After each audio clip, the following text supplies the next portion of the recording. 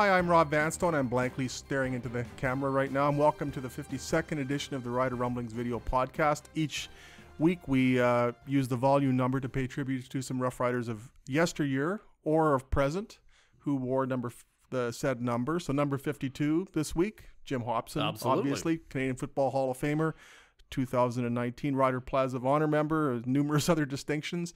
Barry Aldag, brother of a Canadian Football Hall of Famer and a Plaza of Honor member. Carmelo Cartieri, Carteri, number 52. The rider's current number 52 is Murray. Brandon Bartlett, a two-year, Nailed third year, a third-year supplemental pick. I haven't noticed him yet at training camp, but he's wearing 52, so good for him. And uh, Mitchell Blair from uh, 620 CKRM, the Sports Cage, um, Who's trying to get his waist size beyond 52. and is doing quite well Yeah. at it. Good luck uh, on that. Yeah, so. I'm fine. I know the Yes. feeling. I don't know why you wouldn't have had Jim Hopson come in here today to add some talent to this show, being 52 and everything. We should have done that. You should have we had done we that. had Jim with us last year, and uh, Well, I'll just leave him. We'll go get him. We'll do this later. yeah, cut. All right. Um, Um, that this- music, are you going to use that for the provincial election and the federal election as well? That's a that'd be a great wow. great uh, election song. It would be. Uh, we need a decision desk. We haven't yet uh, we haven't yet commissioned a decision desk.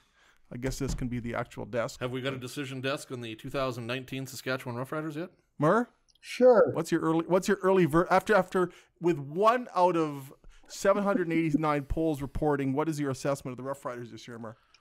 They're going to be in tough. I think. Thanks, Mur. That's that was Murray McCormick. you. Okay. Sorry. I Go go ahead.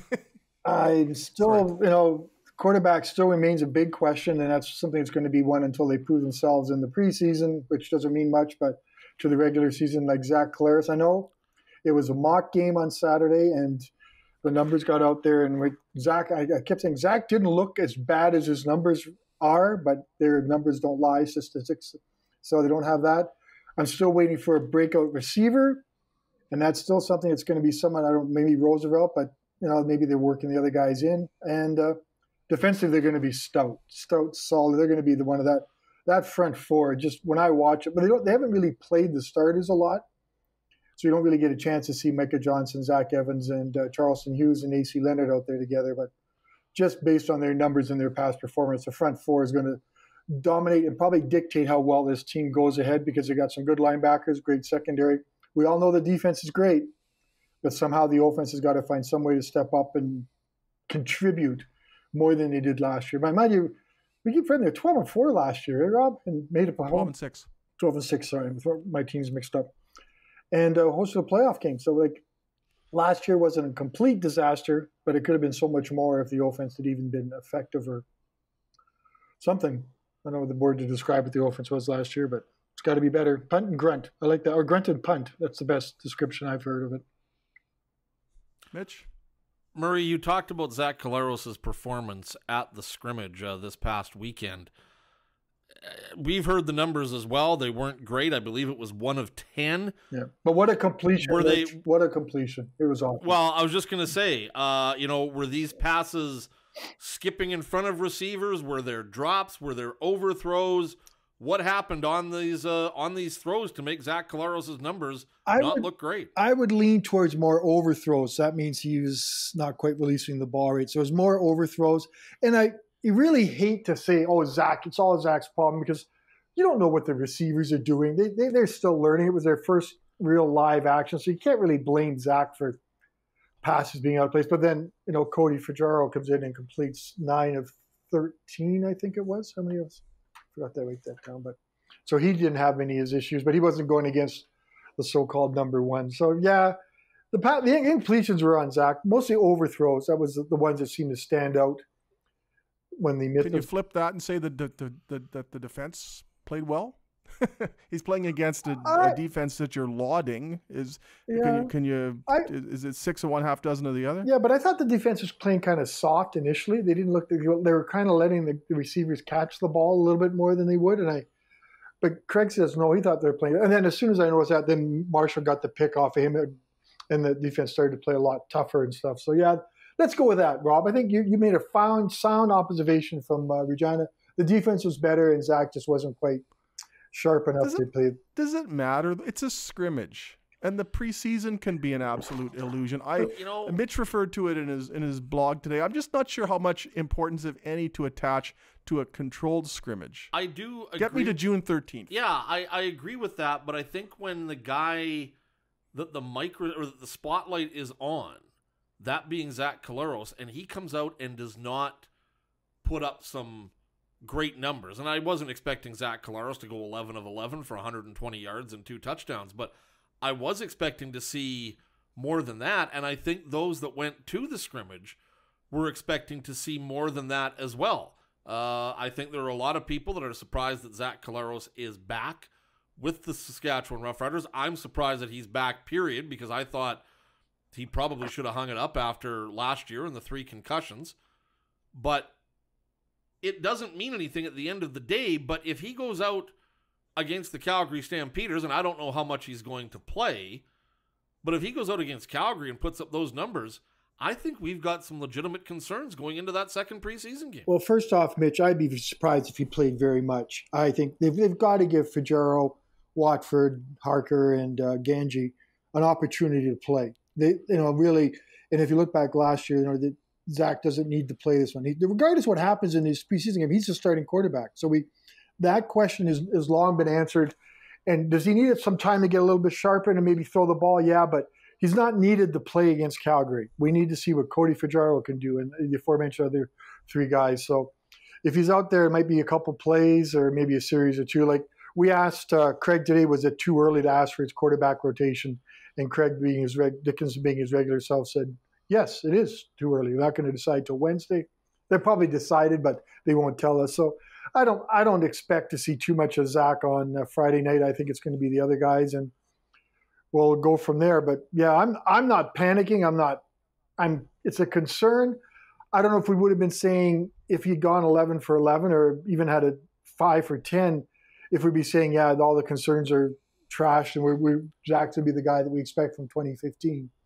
I think there's always going to be concerns until he gets his first hit and that stuff. So I don't, I don't put a whole lot of stock in what we'll see on Friday night from Zach, but I do put a lot of stock what we'll see from the other guys. And I know backup quarterback talk is what we do in Saskatchewan, but someone's got to be the guy. So, and Cody Fajardo right now is is leading that race by a sizable margin in my mind, and can further en- enhance his value with a pretty good performance against the Stampeders.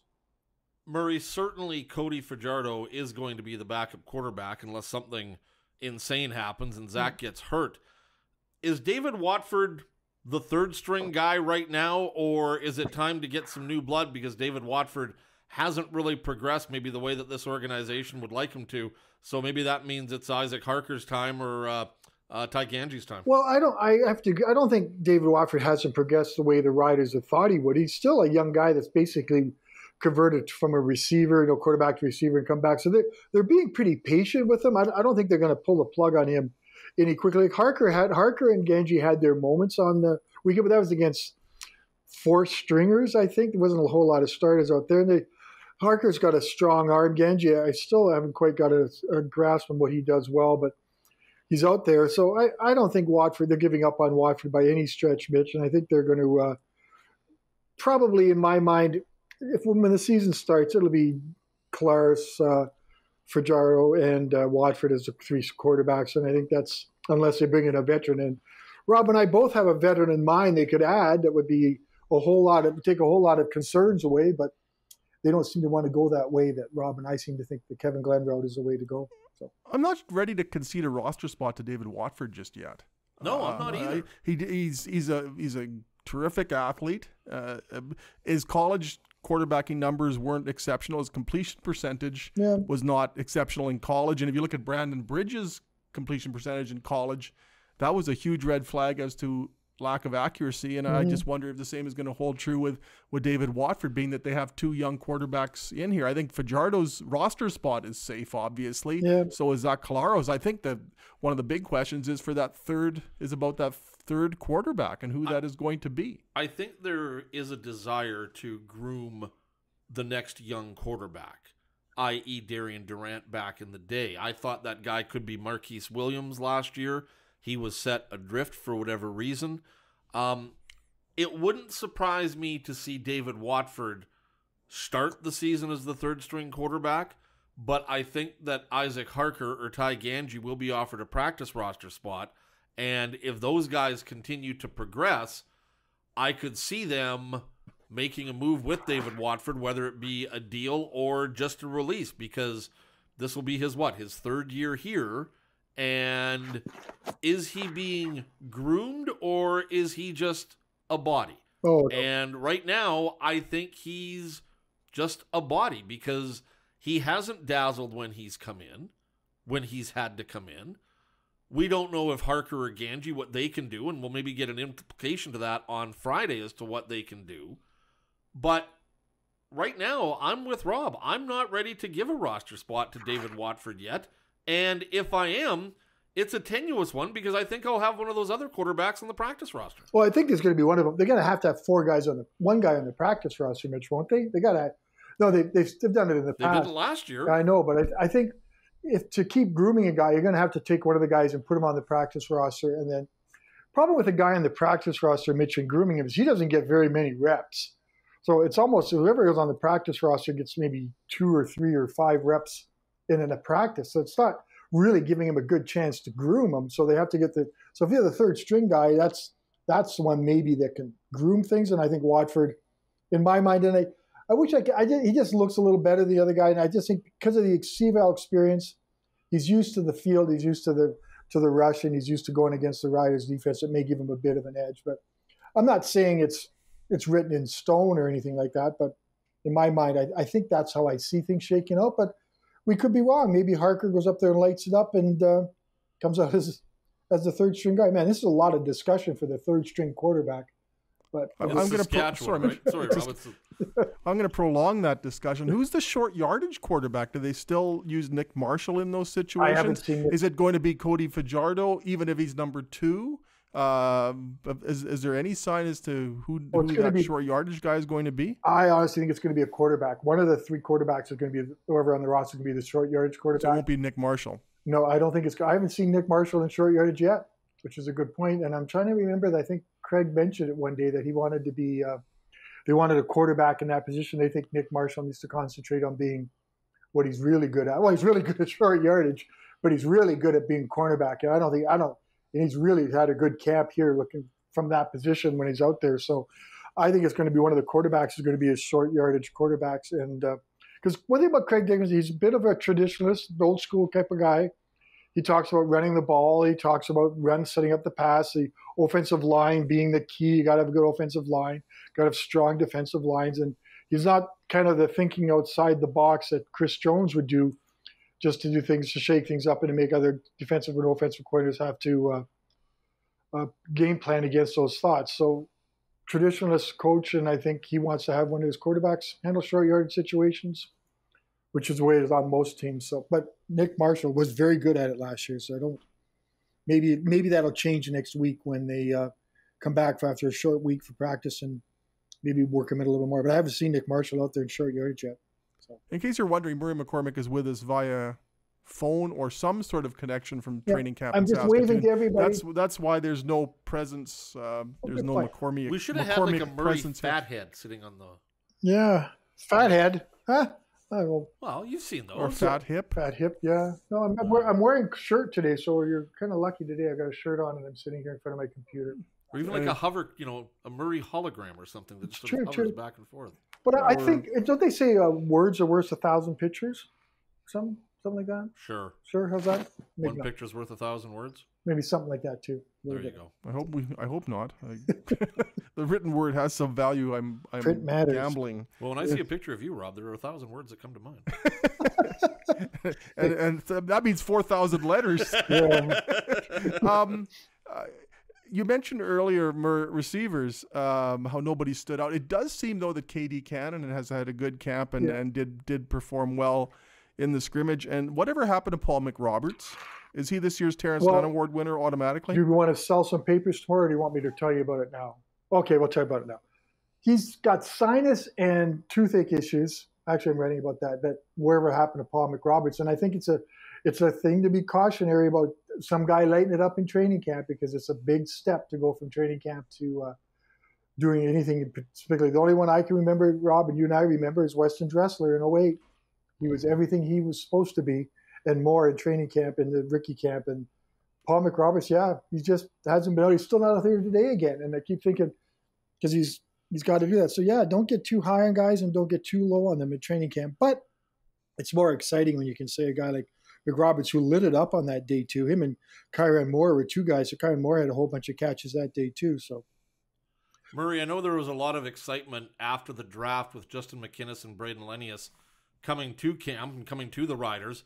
Um, neither has really had an impact in the first week, and Lenius got hurt right off the bat. Yep. Uh, I know McInnis has been hobbled as well. How disappointing is it for the coaching staff not to have those guys in there? Because I think both of those guys were drafted to have an impact of some sort with this football team this year. Well, let's first off, it's not over for them yet.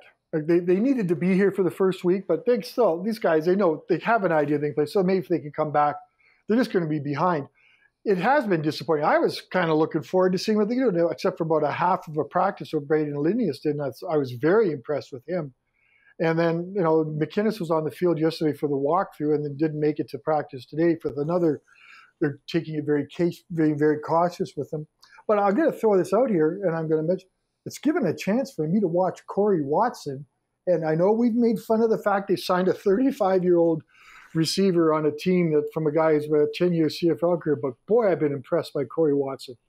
He's big, another big target, 6'3, 230 around or 220 around that area.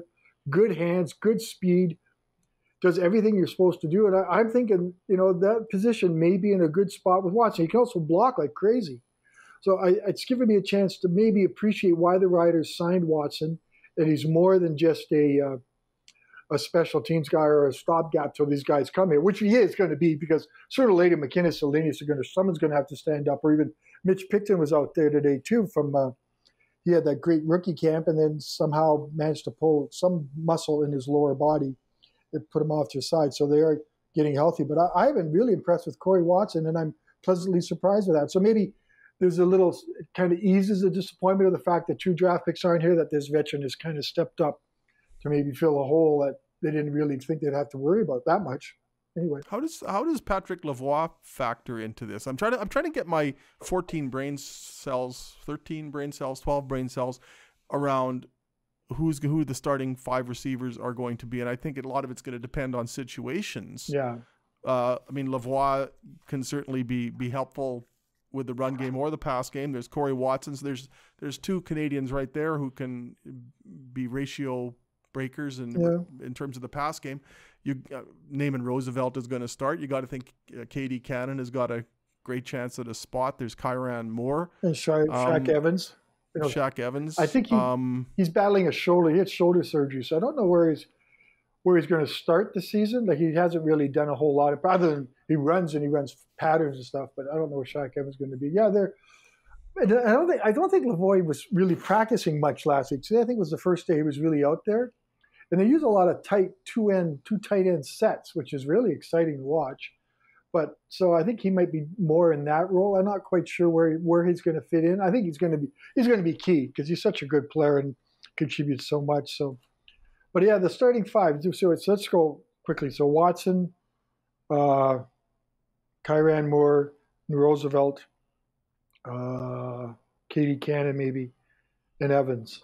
Does that make sense? I'm, I'm not so quick to say Shaq uh, Evans. But you're not a Shaq Evans guy, and you haven't been since he came here. I just I think they can. He's he'll suffice. I, I, think he's sort of a barometer player. If they can find a better player than than Shaq Evans, and if that can be proven through through camp and then the preseason, I think I think you can say that they've improved the receiving core. If he's still playing, that tells me that they're okay. They'll the status quo. They're fine with the status quo, which wasn't sufficient last year. Mm-hmm. Yeah, but there's not much. He hasn't scored a touchdown either yet, which is always a bit of a concern. Sorry, I was reading something on Twitter. Mm-hmm. But, but no, you're right. And Shaq Evans didn't score a touchdown last year, but I know there was one game in Montreal where they had given him a touchdown, and it was called back at the six-inch line. There was another game, I think it was against Winnipeg. The same thing happened. So Shaq Evans did have the potential to put the ball in the end zone. He was just a couple of inches short from yeah. doing so. I I know that Shaq Evans has had a history of drops but he's not the first receiver. He won't be the last receiver to have that. I just think that Shaq Evans is getting a raw deal. I, I you know I think because of his season last year, I think this kid can can play football. I just think he has to maybe get his focus right because I attribute that to drops, and I think if Shaq Evans can can get his head screwed on right, I think he can be a weapon for this offense. I agree. I agree. There's another guy they had, Malik Wilson, and he was another young receiver, and they they gave him a ton of touches on uh, in Saturday's uh, scrimmage for, as a returner and as a receiver, and he didn't really stand out much. And Kenny was one of these guys in the first week of camp. I was I noticed regularly making pretty nice catches and seemed to be open, and then the, the scrimmage he wasn't really as as effective as I thought he could be. So I think maybe the, he might have taken a step back. One of the young, maybe, but as the same thing. So who's who's the returner or who are the return? They've got so many oh. candidates. Malik Wilson as well is one. Christian Jones. Um, Has he practiced yet, Murray? No, he hasn't. He's still on the injured list, right? Still on the injured list. Marcus Thigpen, Kyran Moore. They've got a lot of guys. Who could, uh, Lucius Purifoy, Purifoy on kickoff returns last year was tremendous. Mm-hmm. They've got a wealth of. And of Ed Gainey's back. Ed Gainey's still back there, trying to do what he can do. He wants to do that. I had them written down when I. You know, I wouldn't risk Ed Gainey on a kick return. No, too valuable. Too valuable. He's having a good camp, by the way. I really think Ed Gainey is. You know, I keep trying to watch out for the rookies and the veterans. I keep going, holy smokes, Ed Gainey's out there. He's doing, he's doing very well. I'm trying to find as my, you as you would expect. Yeah. If a veteran of that prestige or caliber comes into camp and doesn't do well, and they don't. There's a problem. They don't get a whole. Murray, lot, I have. Uh, sorry, they don't get a whole lot of reps either. The veterans, people have to realize, because they have all these other guys they're trying to look at. So it's not really uh, a whole you know, it's not all about them. It's about trying to find who the other guys can do things. What was that one there? Murray, in talking to people in Saskatoon that have seen camp, Ed Gainey's name has come up as one of the veterans that's had a great camp. But the question asked to me, and I, I can't give them an answer because I haven't seen them yet and won't until Friday, and then God only knows how much they'll play. But that question's being asked already about what veterans might be on the bubble. Uh, has that talk even started yet? In Saskatoon? Because I would think it wouldn't until after the first preseason game is over. Well, there's yeah, there's a few veterans. I think Mac Henry might be on the bubble just due to the fact that they've Charbel Dabire has played so well, and uh, Jeremy Faulk is an international, and Chester Gaze are both internationals. They may not fit it, but but Mac Henry, but Mac Henry knew that coming in. He's 32. They signed a good young guy in, in Dabire as a draft pick, so that kind of puts him a little bit on the bubble. I kind of hate to say it, but maybe Dan Clark a little bit. I think, you know, that the fact that he was on the field today and practicing, there's nothing to say that's anything about what's going on with him because he, he, he knew he was going to be in battle. He's always in a battle to get his position, so he could be a little bit. But he, he was out practicing today. They think he's got he's not going to play on Saturday on Friday night against the Stampeders, but he'd probably play the next weekend. We all know Dan was in that car accident, that single vehicle rollover on May 7th, and was pretty badly hurt. So but the fact to see he's out here is really inspiring and good to see him doing that. But I, I kind of thought that maybe even coming into this with Brendon LaBatte's a very good center. I think we all know that. And with him at center, with Blake and uh, Bladek as the two guards and the two tackles and Coleman and uh, Cofield, that's a pretty good offensive line. And what do you do when you got Dakota Shepley there and you got Clark? Something's got to give. And Something's got to give there. So, and, I, and I'm not don't want anybody to to say I'm disparaging Dan Clark because I like Dan Clark and I, you know, in fact, I'm very, you know, you see what he went through and the fact that he's even practicing is such so such an amazing thing to do. But he was coming in on the bubble. He was going to come in the bubble regardless. So maybe that's another one. And I, I have I can't really think of that. Maybe Sam Hurl might be fighting for that with aluminium being in the uh, middle. He's going to be Mac and way Cameron Judge has looked in training camp as well. He's just been outstanding. Just shows how much that Sam Hurl will be on the bubble in a sense that he may not be a starter on the defense, but he will be starting on all four special teams plays. And he's such a contributor in that key part of the game. And with the Riders losing, losing Jordan Reeves for the season to that knee injury, they're going to need some special teams help. And Sam can do all that and still maybe, you know, sub in for maybe, uh, I don't know if he can play Will, that's a big ask for him because his pass coverage isn't as strong as his run coverage. So, but maybe Sam Hurl might can be in the bubble. Yeah, not be on the bubble to not to be on the roster, but he may not be on the bubble to lose his starting position. Oh, he's going to lose his starting middle linebacker position, I think. And with him, with uh, Judge and him both sort of seeing time at will. So maybe that's it. That's I got, I got a few bubble guys in mind. I mean, we've talked about Shaq Evans. I still think they can they can do better than that. Um, you, you look at the offensive line; something has got to give there. Um, what if Charleston Hughes and the way he finished the season last year uh, is indicative of performance early in the season? Charleston Hughes, AC Leonard, I'm. Charles AC Leonard was a was a healthy scratch for the playoffs last year. Mhm. I just wonder if, if, if Chad Jeter is having a good camp, Yeah. is is if Charleston Hughes ends up looking like he's 35 years old, is is that one that's that's questionable, That's or am I really reaching here? I think production really, really- dropped off, at least statistically, after about the 60 to Game- 70 percent mark of the season last year? Game 13. He had what? He had 13 sacks at game 13, and then had two after that. Somewhere. How much of that was though, and I'd have to go back and look at the film. How much of that was, you know what, we need to stop Charleston Hughes, and efforts were being made to do that because Willie Jefferson really started to make his impact in that final third of the season. And I'm just wondering, did the focus shift to Hughes allowing Jefferson to make more plays, or did Charleston run out of gas, as some have suggested? Well, I know I asked Jefferson about that last year, and Jefferson said they're still focusing on Charleston Hughes, and part of that was part of the reason why Jefferson had such an explosive second half of the season. I I really wish I could say Charleston Hughes has stood out at training camp, but at the same token, this first nine days haven't been about the starters as much. It's been about guys backing up. So that's why Chad Jeter has has looked pretty good. I like this uh, Jeremy Faulk guy. He's a another big tight end, or kind of guy that's had some good rush. And AC Leonard has played well, Rob. I think I still I'm, I will talk to him find out why he got benched sooner or later, but he's still he's got those long arms and he just seems to be. I, I just think the option they could have with a three man front, and I know you loved it so much last year, but you think of Charleston Hughes, Micah Johnson, and AC Leonard as a three man front. That's pretty formidable. And then so But then what do you do with, with Zach Evans? I know You're so, paying Zach Evans a lot of money. They Yeah. can't go with a three man front that much, can they? well. Considering the money they've invested in their Yeah. defensive line. I, If you look at Micah Johnson and, and, and Zach Evans, you've got over four hundred thousand dollars locked up in those two positions. That's a I good think point. they can do that situationally on second and long because Micah Johnson is a threat to get to the quarterback. Zach Evans isn't. So I think on second and no, long, Zach was I think Zach was, he Yeah, had one. He had one sack. but last year I think in, on, last year was an on aberration. I think Zach Zach with with Micah Johnson there is going to get back. He had one year at five sacks, didn't he? Five no. six? What I'm saying, Murray, is if it comes to a three-four defense, I think you can take Zach Evans off the Oh yeah, field, oh yeah. knowing that Micah Johnson's going to get more pressure on the quarterback. That's not a disparaging statement against Zach because I think on first down you have to have Zach Evans in there. On second and and four or less, you have to have Zach Evans in there. But I'm thinking on second and long, if you want to go three four, you can take Zach out and still be okay because of the pressure that Micah Johnson can can put up. Or go three nine the way they did, often did last year. Yeah.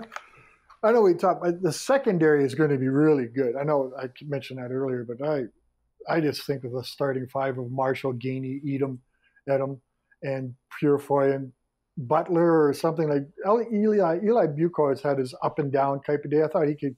He's kind of like the backup cornerback to Butler, so maybe he'll push Butler a little bit. But he's had some inconsistent days. But you know that secondary is going to be really strong, and so is the linebackers. But it's just as we go back to where we kind of started this whole conversation, it's what the offense does. The offense, so it, ultimately, it's going to come down to that. Murray, again, uh, I haven't seen him perform. I know uh, I've heard you say that he's the first guy out every day. I've heard people say that John Ryan is absolutely booming the football. Uh, what have you seen from him in week one? Uh, you know, I, I'm expecting him to be kicking the ball 45, 46 yards an average this year. I expect nothing different from him than what I saw with him in Seattle. Uh, what have you seen from him? And is he sort of reinvigorated after having a year off? I think it's just punting the way he can punt. Like, he's still good. Like 37 isn't old for a punter. How old was Bob Cameron when he punted? 75, 81. 85? Yeah. Forty six, I think, his final year. And yeah, he's everything you mentioned, Mitch. He's doing all those things. He's working with the other guys. It's funny to watch him.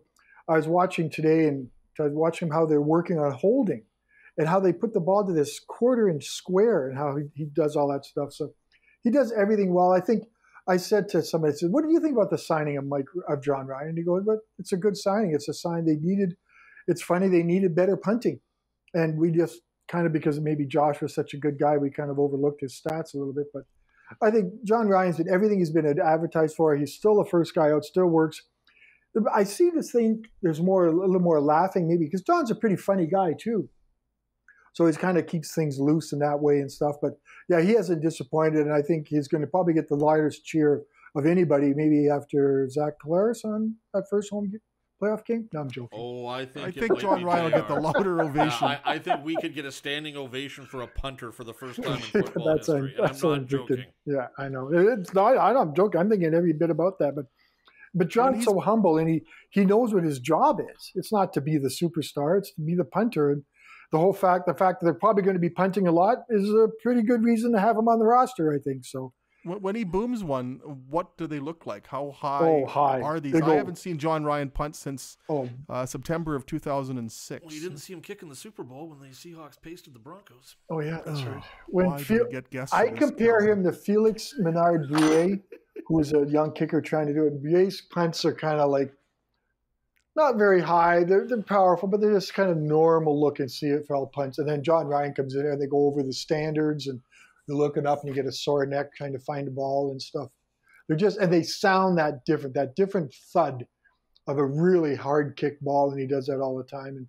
And and they also, you know, they're working directionally too. It's not it's not all going to be 50 yard boomers. He's got to you know hit him to spots, and he's dealing with the fact that if you kick the ball out of bounds inside outside the 20s, it's a penalty. He's going to learn those rules. So it is fun. Listen to him. It's fun listening to Jon punt the ball. It's even more fun watching him kick it. So he's been everything is advertised, and uh, yeah, a punter could be the face of the Riders. It's just a a crazy kind of a season in that way. Mitch, do you have any final thoughts before we send Murray on his way to actually write something well, today? Well, as I said, I just think, you know, like a lot of other people that haven't been able to to see this football team at training camp. But you can read all about it in the leader. Well, post. yeah, you can read all about it, or you can listen daily at four to the Sports Sportscape with Derek Taylor. Bad guest host on Thursday coming up. Though. Oh, terrible! Or best terrible. bad co-host part. Yeah, terrible. That's you're still coming in, right? Yeah, I'll be. I'll see okay, you Thursday. Okay. Um, I just want to see what this team looks like. Uh, you know, there there are guys on this roster I've heard things about. Uh, we've talked about a lot of them on this podcast. Uh, I just want to see what these guys are all about. And, you know, you brought up Chad Jeter's name. I want to see if he's taken another progression. I want to see how AC Leonard looks. Uh, I do want to see how Zach Collaros looks, even if it's only a couple of series. Yeah. I want to see how David Watford looks. Uh, you know, I don't know if McInnis is going to play. I know Lenius won't. If McInnis plays, I want to see how he looks. Uh, there's just those questions that, yeah, and I doubt it too. Yeah. But there's just those questions that you get every year when we can't see these guys – because we're up in Sask or because they're up in Saskatoon and we're down here. It's that first preseason game where you start to sort of go, okay, this is what I've heard. And again, as we all know, um, there are guys that do great in practice, and then you turn on the lights and they're terrible, and vice versa. So I want to see them play against the Calgary Stampeders. I want to see who stands out. I want to see who has a tough time, and then we'll move on to the second preseason game and. Uh, and go from there. There's something about turning on the lights. I, I was having a good day. I thought I was going to be in good form. And then Mark Melnichuk, our producer, turned on the lights for the podcast. And I just really have had nothing today and have been substandard. Uh, Murray, do you have any uh, final closing thoughts? Anything uh, you'd like to disparage me about? Mm, no, I or can't. Am I taking I've, care of that? I've pretty well covered all uh, everything I like to say. Um, maybe we'll pump a little bit. We're going to delve into the global players. This Max Zimmerman scored a touchdown, which was pretty cool. excuse me, was pretty Do cool. We need to get a medic. Are you okay? uh, pretty cool. That's weird. Eh? Pretty cool in the in that's uh, my third pretty cool. Fourth pretty cool. Uh, in the mock scrimmage, which is nice to see that uh, he's he's so ripped and stuff. And I think the finest compliment I could play to Max Zimmerman is I always think he's like a Canadian out there. he doesn't look like a guy who's uh, hasn't played a whole lot of Canadian football. Sorry, guys, I got to take a drink. Which of these phones should I use to dial nine? Yeah, I'm dialing nine one one as we speak, Murray. Oh, that's weird. what was that clank? Was that your fake? Was that your fake hip? that was my water bottle.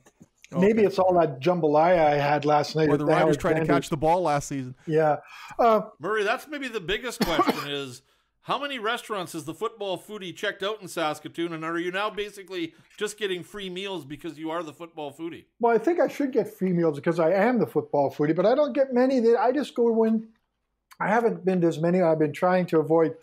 I'm right across the field street from the stadium, so there's no place to eat around here. So I've loaded up on people's salads and those sort of things. To eat one is I know it's not very exciting, but you got to. There's a football is Ariel foodie. making you lunch? Hmm? Sorry? Is Ariel making you lunch? No, no, no. I buy them at Sobeys. Anyway, All so right. another touch there. But yeah, uh, Saskatoon has some great restaurants, but it's been busy. Like Saturday night, I was going to go out and the Raptors game was on. So I got watched it in my room. Go to Taverna. I want to go to. Taverna. Maybe I'll go there. Vitello El Limoni is so good. If you're divorced, don't order the Vitello El Limoni at Taver- Taverna. I've been uh, to Taverna, and I remember one of the Taverna is so great. The lemon veal, it's so good. when I was there, I just turned my whole menu over to the server, and he came up with these great seafood pasta salads and the seafood pasta, and it was so awesome. I have to go there. There's just not many nights. You know, tonight there's a hockey game on, and I have to find a bar with a Wendel TV. Clark's. Wendel Clark's. Wendel Clark's is good. It was good. I was there the other night. Original Joe's is good. Original Joe's. Um, Shoeless Joe's is another great place. Buffalo Uh, Wild Wings. Oh, sorry, that's mine. Not yeah, Milestones. on the weekend. Milestones is one of my favorites. That's another a chain. I know people say I'm not supposed to go to chains, but boy, Milestone serves up great food, and I love going there. Well, we, this is called rider rumblings, but I think stomach rumblings would be more Yeah. applicable Exactly, because now. I got I can I'm- see my salad sitting on the counter from here. Well, we're not gonna we're not gonna keep you from that any longer. Um, I hope you recover. You don't sound well. uh, Training Mitch- camp is long. I I may sound it's a long haul. I don't think people realize what nine days are like up here. So Mitch is now eating raw peas, etc. In Yes. order, he's lost at least uh, eight pounds. So congratulations, Mitch, on that. Thanks, Rob. We're, I've gained those eight pounds that you've you have forsaken. I have to read this. It's a it's a it's a post media rule. Please rate us on iTunes and leave a review. It helps us grow the podcast, and in my case, the podcaster. If you'd like to send us a question, you can email me at rvanstone at postmedia.com, and we'll read your question on the show. Mitchell Blair, CKRM, thank you so much for being with us today. Rob, the pleasure's been all yours as always. Uh, Murr, thank you so much, and we hope that you, you do rally and are able to get your stories done today before going to the hospital. yes, I will. I'm feeling better already. Just saying goodbye to Mitch and you has helped me. For Murray and Mitch, I'm Rob Vanstone. Um, take care of yourself and of each other. Isn't that the Jerry Springer ending? sure. Yeah. Something Anyway, like that. thank you so much, and we'll do this again uh, next week. Mm, Maybe. This may be the end of our podcast series now that we've degenerated so badly in the Play the music. Roll them Goodbye.